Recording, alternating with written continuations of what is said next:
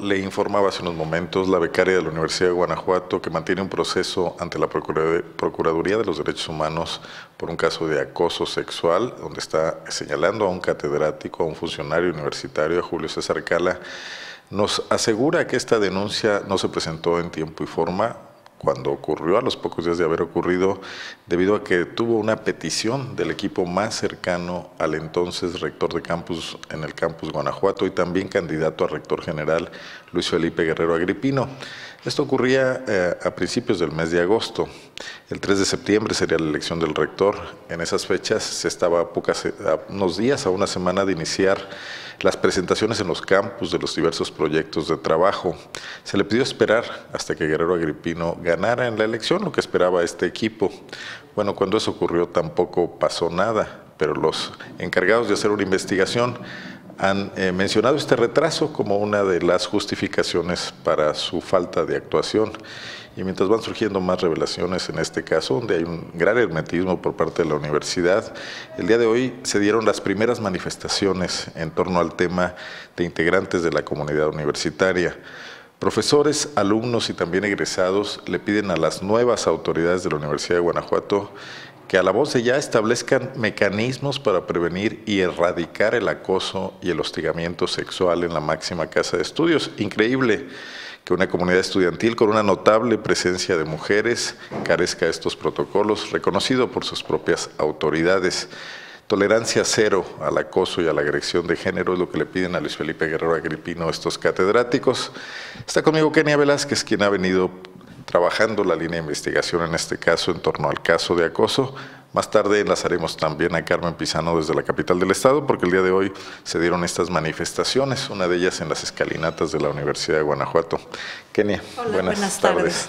Pues sí, en nuestra nota con la que amanecimos hoy, en la que nuestra denunciante ah, nos cuenta cómo se le han ido cerrando las puertas en la universidad.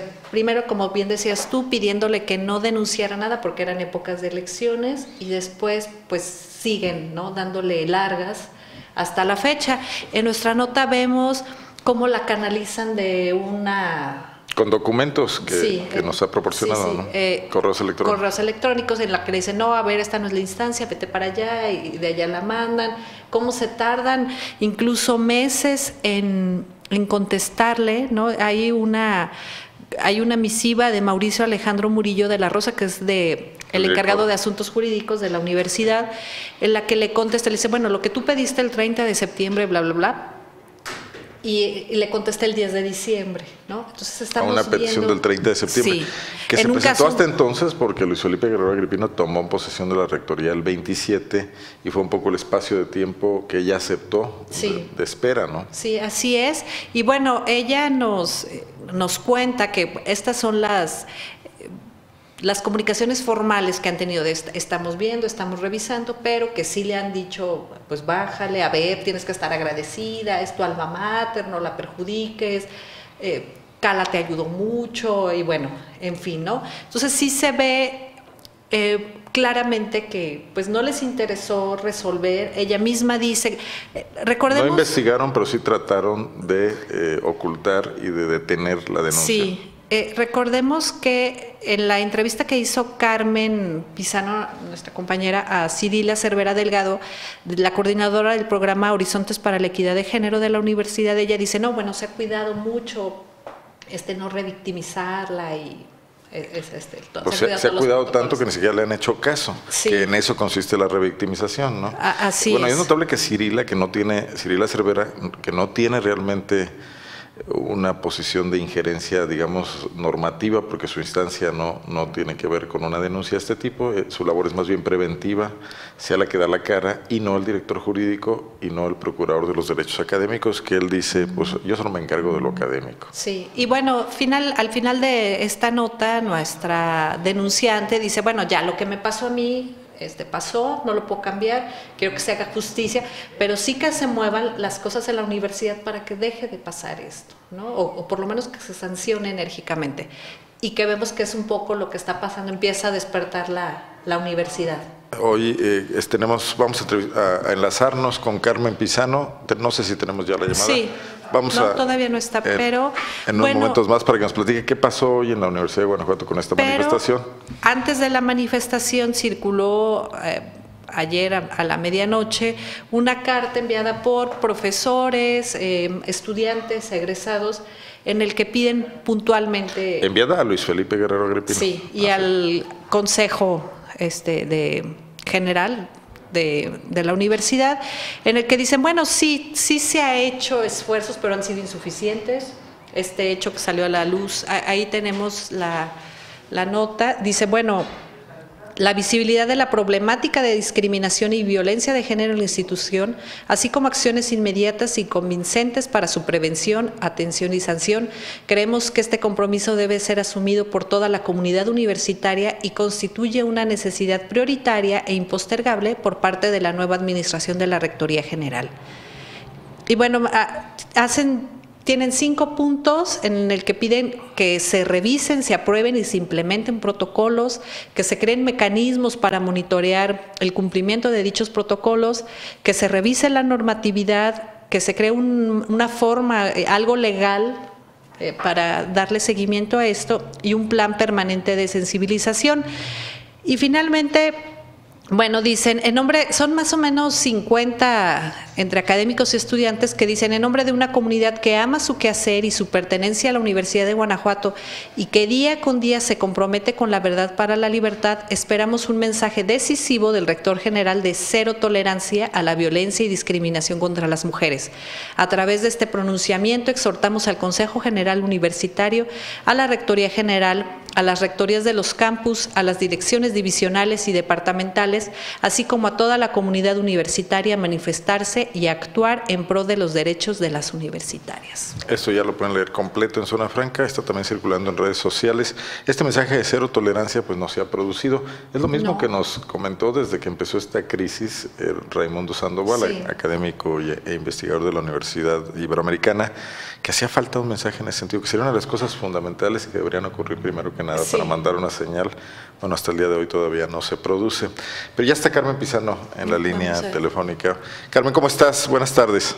¿Qué tal Arnoldo? Buenas tardes. Buenas tardes Kenia. Bueno, pues este, terminando en este momento la rueda de prensa que ofreció el rector general de la Universidad de Guanajuato, Luis Felipe Guerrero Azvipino, estuvo acompañado de Héctor Efraín Rodríguez de la Rosa, que es el secretario general de la universidad, y bueno, también de dos estudiantes, dos de los estudiantes que estuvieron manifestando hoy por la mañana en las escalinatas del edificio central donde exigían este, protocolos para, para que se atiendan los casos de violencia de género en la institución.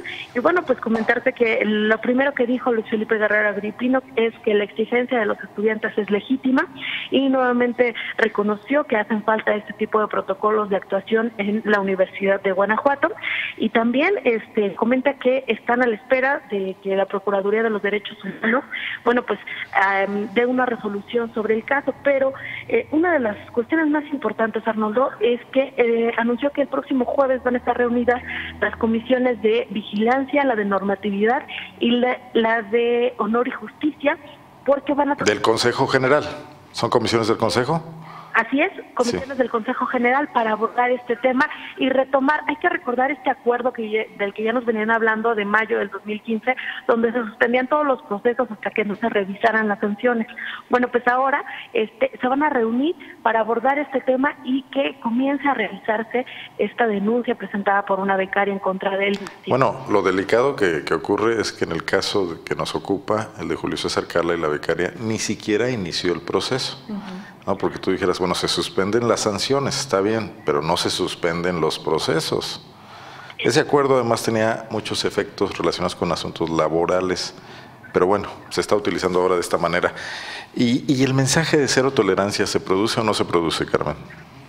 Eh, se produce, bueno, al menos hasta, hasta el momento sí. Por eso mismo es que se reúnen las comisiones para tratar el tema de Julio César Cala y contrario a lo que nos declaraba hace unos días el director de Asuntos Jurídicos de la universidad, eh, Mauricio Murillo. Mauricio Murillo de la Rosa, si no recuerdo su, segundo apellido, este, eh, que no se había iniciado ningún proceso, que porque no estaba en riesgo, que porque ya no había riesgo de un segundo ataque. Esas son las declaraciones que nos daba el Así es. no recuerdo.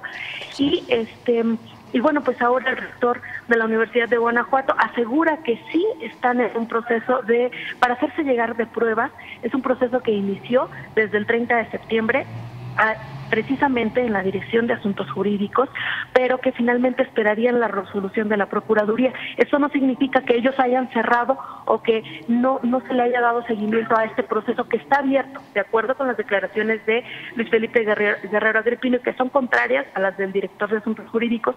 Sí hay un proceso abierto, eh, pero solamente tienen versiones, que es el de la denunciante y el de, profesor investigador.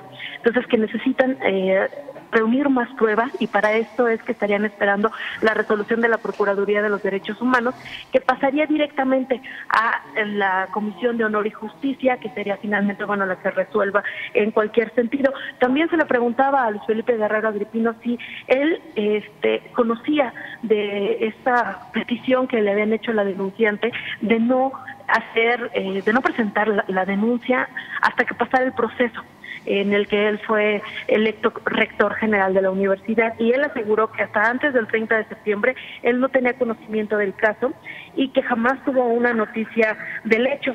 También le preguntamos sobre él no, pero su secretaria particular directamente señalada por, por la becaria como que era quien conocía del asunto y dijo que también la secretaria particular ha negado que esto haya sucedido, es decir, que le haya pedido que no este, hiciera pública la denuncia hasta que pasara el proceso. ¿Y tenía o no conocimiento del hecho? Antes del 30 de septiembre, la secretaria particular Dolores Gallegos, ¿eso no, no se preguntó, Carmen? Sí, él, él, él dice que no, que, este, que, que él le preguntó directamente y aseguró la secretaria particular que no. Entonces aquí ya tenemos dos versiones, la de la presunta víctima que asegura que a una semana de ocurridos los hechos, esto es a mediados del mes de agosto, informó a Dolores Gallegos de lo que había ocurrido y de su eh, deseo o su decisión de llevar esto a, las instancias donde hubiera, hiciera falta y que ahí se le pide que no lo haga por la campaña. Ahora tenemos la versión del rector Luis Felipe Guerrero Agripino en quien sale a dar la cara, según te entiendo, por su secretaria particular para decir que no hay tal, negando, contraponiéndose ambas versiones? ¿Así están las cosas? Así está, Arnoldo. Y bueno, pues primero, eh, la primera declaración que él da cuando le preguntamos directamente si él conocía del caso antes del 30 de septiembre, y asegura que no, y, dice que en el caso de la Secretaría Particular, ella tendrá que dar su propia versión. Esta fue la primera declaración.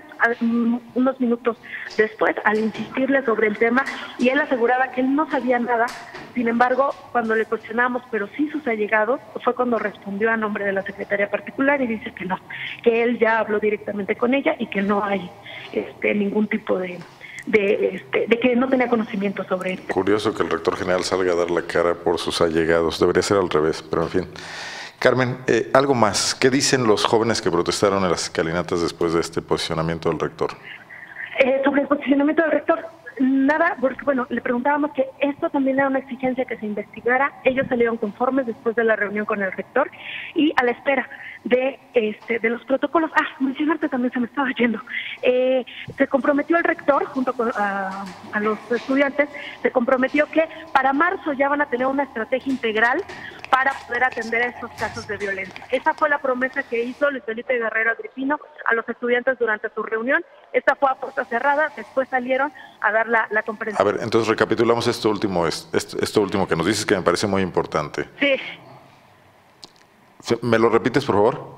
Sí, que para marzo, eh, en, el mes de marzo, el compromiso del rector general es que se tenga una estrategia integral para la atención de los casos de violencia de género en la institución. Aproximadamente un, ajá, un mes. Esa fue la primera respuesta que dio este el rector a los estudiantes que se manifestaron el día de hoy. Aquí está Kenia conmigo que te quiere preguntar algo, Carmen. Ah, sí, sí, adelante. Carmen, eh, ¿dijo algo el rector? ¿Le preguntaron sobre esta carta que mandaron los académicos y estudiantes y egresados? No, sobre la carta no, Genia. Este, estuvimos enfocados en las exigencias que son básicamente las mismas de la carta, pero de la manifestación de los, de los estudiantes aquí en las escalinatas. Muy bien. Bueno, pues estaremos atentos. Importante el compromiso. No se produce un mensaje muy claro de cero tolerancia, no aún y yo saco en claro que descalifican, desmienten o eh, desautorizan la denuncia de la joven becaria en el sentido de que ella puso en conocimiento a gentes muy cercanas a Luis Felipe Guerrero Agripino, como es Dolores Gallegos, de lo que había ocurrido en Aguascalientes con Julio César Cala y de su decisión de eh, abrir un proceso al respecto. Se dice que, que no hay tal, tendremos que platicar otra vez con ella para ver qué opina de esto, ¿no? Claro. Así es, Armando, aquí estaremos pendientes. Más adelante toda la información es una franca. Muchas gracias, Carmen, muy puntual. Gracias. Nos escuchamos más tarde. Bueno, pues ahí tienes, ¿qué te parece? Pues las contradicciones, ¿no? De Murillo, de sí o no. O sea, sí hay un proceso, pero no, pero no se Y los correos electrónicos que evidencian que ese Sí. proceso significa que solo la estaban bateando, ¿no? No hay tal proceso. Sí, sí, sí. No se habla en ningún caso de que hubieran llamado a Julio César Cala a dar su versión de las cosas. Bueno, parece que el control de daños está siendo muy deficiente. Hoy cambian las versiones de la semana pasada, pero siguen sosteniendo que no sabían nada antes del 30 de septiembre. Lo cual a mí me parece, pues, bueno, vamos a suponer que no sabía el rector, pues, qué pasa con su círculo cercano que le ocultan. Su secretaria particular debería informarle Pues de todo lo que está y pasando en el cosas entorno. tan graves, ¿no? Y, y al interior de su propio equipo. Entonces, bueno, pues ahí debería de revisar el rector.